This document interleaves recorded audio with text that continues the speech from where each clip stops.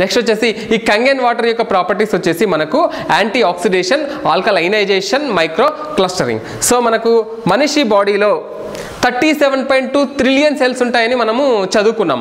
So ఈ thirty seven point two trillion cells మనిషి బాడీని నిర్మితం చేస్తాయి. అంటే మనిషి బాడీ ఎలా నిర్మితమై ఉంటుందంటే రకరకాల ఆర్గాన్స్ కలిసి ఒక సిస్టమ్గా ఫామ్ అవ్వడం వల్ల మనిషి బాడీ అనేది తయారవుతుంది. సో ఈ ఆర్గాన్స్ ఎలా తయారవుతాయంటే రకరకాల టిష్యూస్ కలవడం వల్ల ఈ ఆర్గాన్స్ అనేవి తయారవుతాయి. ఈ టిష్యూస్ ఎలా తయారవుతాయి అంటే రకరకాల సెల్స్ కలవడం వల్ల ఈ టిష్యూస్ అనేవి తయారవుతాయి. మనిషి బాడీలో రెండు వందల రకాల సెల్స్ ఉంటాయి. సో అలాగా thirty seven point trillions counting cells అనేవి కూడా ఉంటాయి. సో ఈ వాటర్లో ఉన్న ద ఫస్ట్ ప్రాపర్టీ వచ్చేసి యాంటీ ఆక్సిడేషన్ యాంటీ ఆక్సిడేషన్ కంటే మనకు తెలవాలంటే ముందుగా మనకు తెలవాలి ఏంటి అంటే ఆక్సిడేషన్ అంటే ఏంది అనేది మనకు తెలియాలి.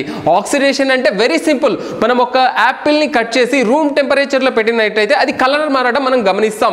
దీన్నే మనం ఆక్సిడేషన్గా చెప్పుకోవచ్చు. సో అలాగే మనం మేకుల్ని కూడా ఎగ్జాంపుల్గా తీసుకోవచ్చు. మేకుల్ని మనం ఒక వాటర్లో వేసినట్టయితే అది ఒక రెండు మూడు రోజుల తర్వాత అవి తుప్పు పట్టడం అనేది స్టార్ట్ అవుతుంది. అది దీన్ని కూడా మనం ఆక్సిడేషన్ చెప్పుకోవచ్చు. సింపుల్ అండి ఆక్సిడేషన్ నథింగ్ బట్ రస్టింగ్ ప్రాసెస్ని ఆక్సిడేషన్గా చెప్పుకోవచ్చు. కానీ కెంగెన్ వాటర్లో మనము యాపిల్ ముక్కని కానీ లేకపోతే మేకుల్ని కానీ వేసినట్టయితే అవి రెండు కూడా పాడవవు. యాపిల్ కలర్ మారదు. Um, మేకులు తుప్పు పట్టవు. రీజన్ ఏంటి అంటే మనము లివింగ్ టిష్యూస్ ఎప్పుడైతే ఆక్సిడేషన్కు గురవుతేనే సిక్నెస్ అండ్ ఏజింగ్ అనేది జరుగుతుంది. కానీ కంగెన్ వాటర్ దేనిగా పనిచేస్తుంది అంటే anti oxidation anti inflammatory anti ఏజింగ్గా పనిచేస్తుంది. అందు గురించే కంగెన్ వాటర్లో మేకులు తర్వాత యాపిల్ అనేది పాడవదు. సో ఇది ఎగ్జాంపుల్ ఎందుకు అంటే యాపిల్ గురించి మేకుల గురించి కాదండి. ఎందుకు అంటే మనము యాపిల్ని కూడా ఎందుకు ఎగ్జాంపుల్గా తీసుకున్నామంటే యాపిల్లో పొటాషియం అనే మినరల్ అనేది ఎక్కువగా ఉంటుంది. ఈ పొటాషియం మినరల్ యొక్క లక్షణం ఏంటి అంటే ఇది తొందరగా ఆక్సిడేషన్కు గురి అవుతుంది.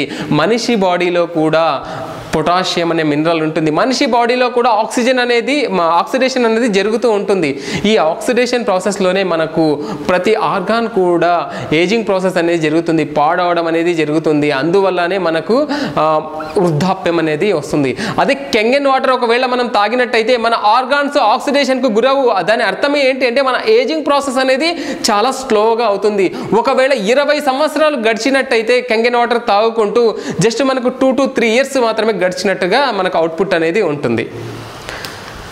So free radicals next topic వచ్చేసి ఫ్రీ రాడికల్స్ ఫ్రీ రాడికల్స్ అంటే దీన్ని ఎలా చెప్పుకోవచ్చు అంటే ఒక కట్టెను కాల్చినప్పుడు వేడిమి వస్తుంది వెలుతురు వస్తుంది తర్వాత పొగ కూడా వస్తుంది. అడుగు భాగాన మసి లాంటి పదార్థం అనేది మనకు మిగిలిపోతూ ఉంటుంది.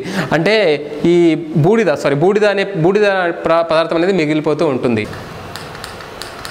సో ఈ ఫ్రీ రాడికల్స్ మనిషి బాడీలో ఎందుకు ఎక్కువగా అవుతాయి? ఇంకా కొన్ని కొన్ని రీజన్స్ ఇక్కడ ఇచ్చాడు. సో ఏంటి అంటే మనకు ఆల్ స్మోకింగ్ చేయడం వల్ల ఆల్కహాల్ కన్జంప్షన్ చేయడం వల్ల junk food pollution radiation stress levels ఇలా రకరకాలుగా చాలా రీజన్స్ ఉన్నాయి. అవన్నీ రీజన్స్ వల్ల మనిషి బాడీలో ఫ్రీ రాడికల్స్ సంఖ్య అనేది పెరిగిపోతుంది.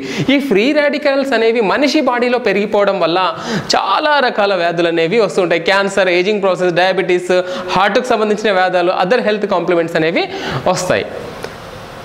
సో జనరల్గా మనము స్ప్రైట్ కానీ లేకపోతే ఆల్కహాల్ కానీ జంక్ ఫుడ్ ఎక్కువగా తినేవాళ్ళు కానీ స్మోక్ చేసే వాళ్ళకి కానీ వాళ్ళ ఏజింగ్ ప్రాసెస్ తొందరగా జరిగిపోతుంది. మనం కూడా కొంతమంది పిల్లల్ని చూస్తాం.